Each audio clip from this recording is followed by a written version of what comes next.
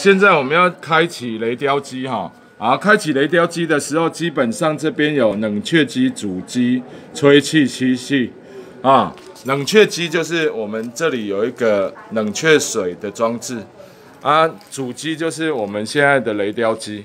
所以我们刚开始在设定的时候，就是把冷却机跟主机的按钮按下去，啊，按下去之后，我们的主冷却机就会打开。好，冷却机这一边特别注意，这边你就不用去管它哈，开关都不要去切换啊，只是同学一定要特别注意温度不要超过三十一度，如果超过三十一度的时候，请你联络一下科主任。好，再来我们来看主机的部分啊，主机的部分这边有一把钥匙要插进去把它打开，好。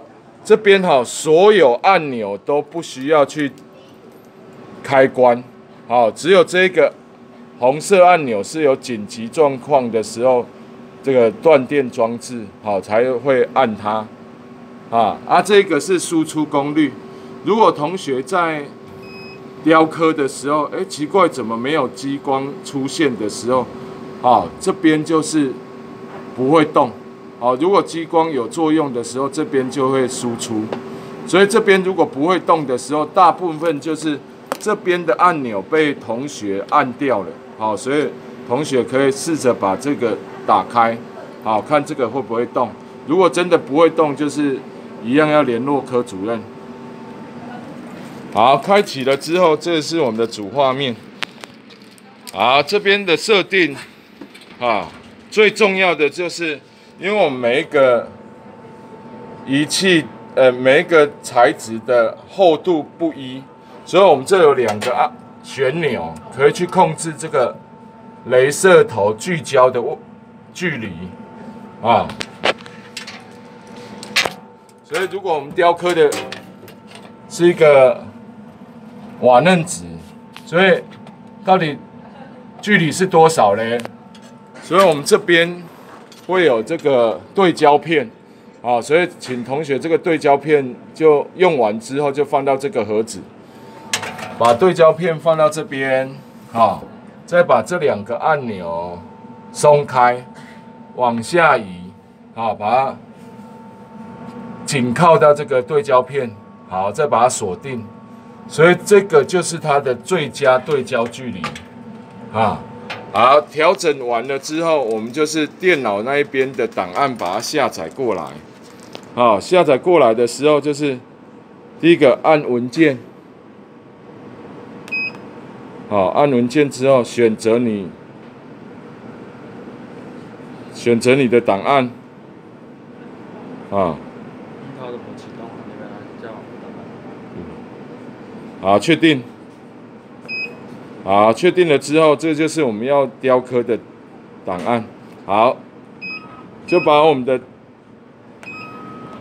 这个是控制这个雷雕头的距离，呃的位置，啊。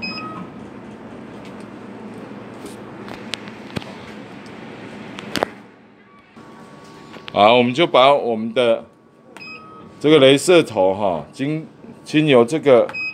方向键控制到最适当的位置，啊，OK 了之后，我们现在去测定我们档案的大小是符合这个瓦楞纸，所以这边要按一下边框，啊，按边框的时候，它就会去扫描这个档案到底有多大。所以同学，你可以看我再按一次边框哦，这个档案其实只有这么小。啊，好，确定了之后，啊，确定好了之后，这个位置就是对的。好了之后，我们就是把这个上盖把它盖下盖下来。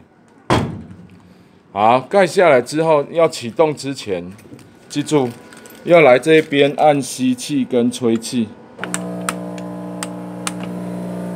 好，吸气吹气按好了之后。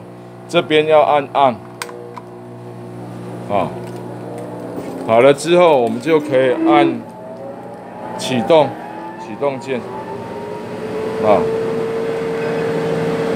好，启动键按好了之后，它就开始做动。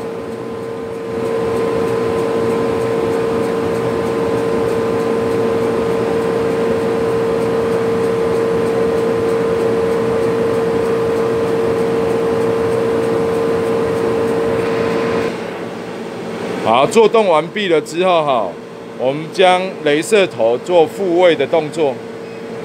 啊，现在镭镭射头就会到它设定的起始点。好，打开你的这个啊，所以现在就雕刻完毕。好，雕刻完毕的时候，记住，请你把这个抽风机啊，吸气跟吹气切掉。啊，这样子就完成你的切割作业。